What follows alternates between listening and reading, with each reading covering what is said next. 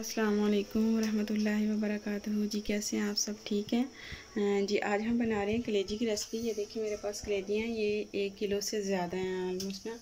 तो सबसे पहले इनकी, मैंने एक दफ़ा इनको वॉश कर लिया है। तो इसको मैं आपको सही वे बताती हूँ प्रॉपर वे कि इसको कैसे इसकी सफ़ाई सही होती है और ये किस तरह सॉफ्ट बनेंगी। तो इसके लिए मैंने यहाँ एक बर्तन में पानी ले लिया है, जो डेढ़ किलो है आलमोस्ट ना। तो इसको ये उबलता हुआ है पानी लेंगे आप और इसमें हम हल्दी डालेंगे। मैं वन टेबल स्पून जो है, मेरे पास टी स्पून है, इसलिए मैं ये दो भर के डाल रही हूँ। तो ये अच्छी तरह मिक्स करके तो फिर हम इसमें कलेजी डालेंगे। और कलेजी इसमें ज़्यादा देर नहीं जस्ट आपने टू मिनट जो है पानी पहले से उबल रहा हो तो फिर आपने उसमें कलेजी डालनी है। ठंडे पानी में कलेजी नहीं डालनी और ज़्यादा उसको कुक नहीं कर लेना मिनट आप उसमें कलेजी डाल के उसको कुक करेंगे। तो दो मिनट कुक कर लूँगी, फिर इसको स्टेन कर लूँगी और फिर इसके मैं छोटे छोटे जितने आपको पीसेस चाहिए, वो कर लूँगी। क्योंकि ये नॉर्मल पीस में है, पहले कट हुई हुई। तो फिर मैं इसको छोटे पीस में, अगर आप छोटे पीस करना चाहें तो कर लें। जी, अब ये देखें ना, ये सारा ऊपर ये जो इसकी मैल, इसका खून है ना, ये इस तरह बिल्कुल साफ़ हो गया है। अब मैं इसको स्टेन कर लूँगी।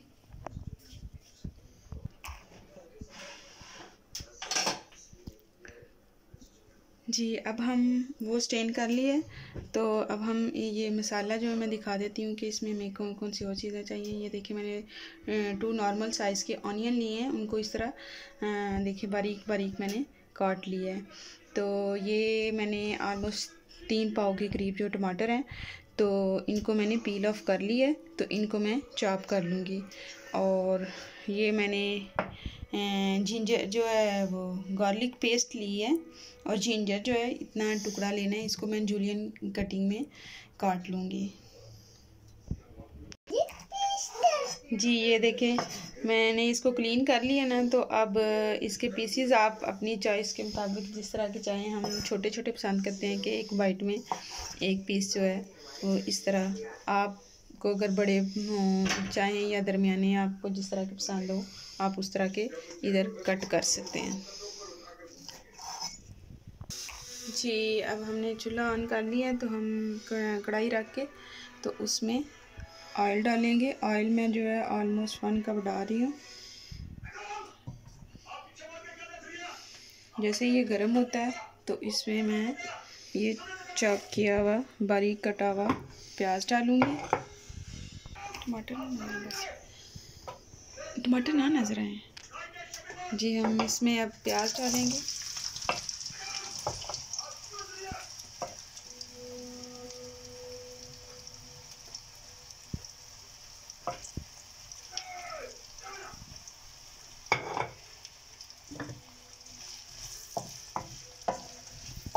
इसको हमने गोल्डन करना है जस्ट ना।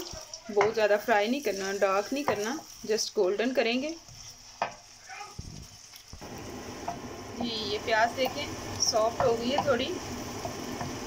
तो अब इसमें मैं ये गार्लिक पाउडर डालूँगी पेस्ट डालूँगी। इसमें मैंने जिंजर जो है वो कट करके बाद में डालूँगी, अभी नहीं।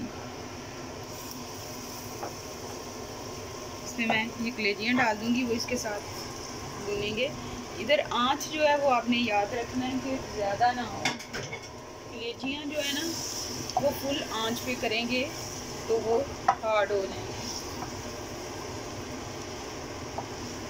इसको मीडियम टू लो पे रखना है। और इसमें मैं पानी नहीं डालूँगी। एक मिनट इधर इसमें भून के तो मैं इसमें टमाटर डाल दूँगी। वो टमाटरों को पानी में ही ये सॉफ्ट हो जाएँगे।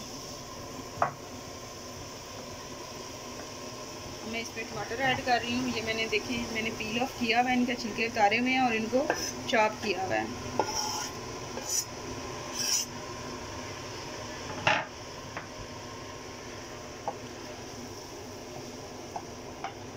इसमें स्पाइस जो है मैं ये जिंजर पाउडर जो है, ये इसमें ज़रा ज़्यादा डलता है। वन टेबल स्पून जो है भर के मैंने लिया है।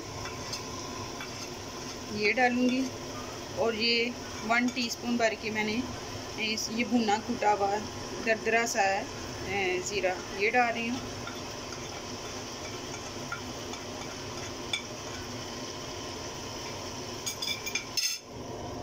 सॉल्ट जो है, इसमें बाद में डलेगा। सॉल्ट अगर पहले डाल देंगे तो वो हार्ड हो जाती है। लीजिए ये इसकी मेन टिप है कि सॉल्ट जो है वो आप बाद में डालें। अब मैं ये रफली कट की हुई जो है, इसमें ग्रीन चिली डाल दूँ। मैं इसमें रेड चिली नहीं यूज़ कर रही। इसमें मैं वाइट पेपर यूज़ करूँगी। ये वन टीस्पून मैं इसमें भर के वाइट पेपर पाउडर यूज़ कर रही हूँ। और वन टीस्पून ही मैं ब्लैक पेपर पाउडर यूज़ कर रही हूँ। अगर आपके पास वाइट पेपर पाउडर ना हो तो आप ब्लैक पेपर ही इसमें डबल कर सकते हैं या one and half teaspoon कर सकते हैं।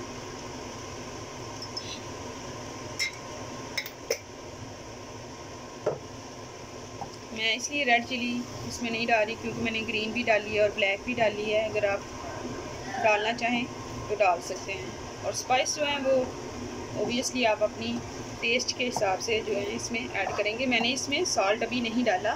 मैं अब इसको कवर करके मीडियम फ्लेम पे इसको मीडियम टू लो हो। इसमें हाई जो है ना फ्लेम नहीं होना चाहिए। फिर कलेजी बहुत सॉफ्ट बनेगी। मैं इसे टेन मिनट के लिए कवर करके मीडियम टू लो फ्लेम पे, जैसे दम वाली आँच होती है ना, उस पर रखती हूँ। जी टेन मिनट हो जाएँ तो एक दफ़ा उसे मिक्स करके तो फिर हम इसमें आपकी मर्ज़ी, आप जितना अगर ज़्यादा दही डालना चाहें, मैं एक कप इसमें आलमोस्ट जो है ना दही डाल रही हूँ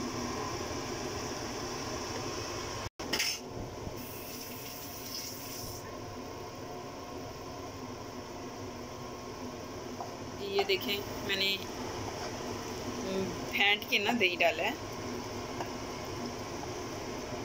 और आँच हमारी मीडियम टू लो ही है।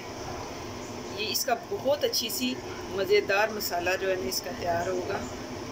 आप इस तरह मेरे तरीके से बनाकर देखें, आप कलेजी इस तरह खाएँगे, बच्चे, बड़े, सबको ये पसंद होगी। जो नहीं खाते ना, उनको भी पसंद होगी। चलिए, अब मैं इसको कवर करके मज़ीद दस मिनट के लिए रख देती हूँ। जी, ये देखें एट मिनट ऑलमोस्ट इधर हुए हैं। अभी ये बिल्कुल ड्राई नहीं हुआ।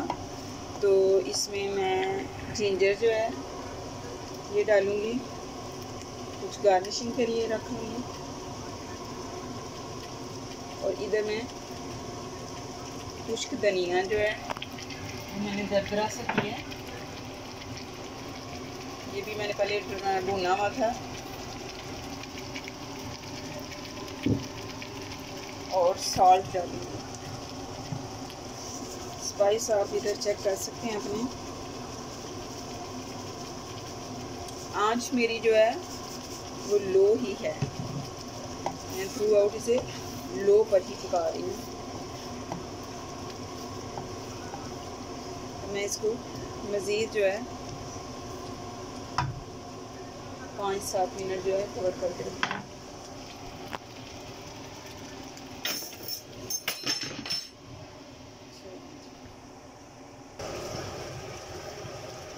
देखिए माशाल्लाह ऑलमोस्ट हमारे जो है ना पानी इसका जो है तकरीबन खुश्क हो गया बस दो मिनट और लगेंगे। हम इसको ढकना उतार के ऐसे ही थोड़ा भून लेते हैं। मीडियम आँच पे ना तो फिर इसको सर्व करते हैं। आप लेमन डालना चाहें या इसमें आप सॉल्ट चेक कर लें।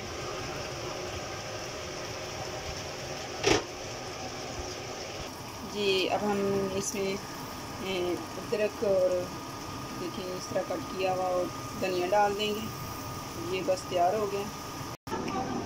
चलें जी, अब हमने इसे डिश आउट कर लिया है।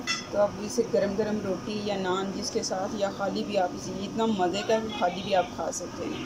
चलिए जी, इंशाल्लाह फिर किसी नई रेसिपी के साथ मिलेंगे। ये ईद की स्पेशल रेसिपी है और मज़ीद हम आगे गोश्त की बहुत अच्छी अच्छी रेसिपीज़ आपसे शेयर करेंगे। मैं आपको बताऊँगी कि गोश्त को साफ़ कैसे अच्छे तरीके से करते हैं और उसे प्रीज़र्व कैसे करते हैं कि वो ज़्यादा देर तक जो है वो बिल्कुल ठीक रहता है और ताज़ा रहेगा। तो इन फिर किसी नई रेसिपी के साथ मिलेंगे। जिसने अभी तक मेरे चैनल को सब्सक्राइब नहीं किया, वो सब्सक्राइब कर दें और वीडियो को लाइक करें और कमेंट्स करें और मुझे बताएँ क्या आपको मेरी रेसिपीज़ कैसी लग रही हैं। इन फिर किसी नई रेसिपी के साथ मिलेंगे इजाज़त दीजिए। अल्लाह हाफिज़।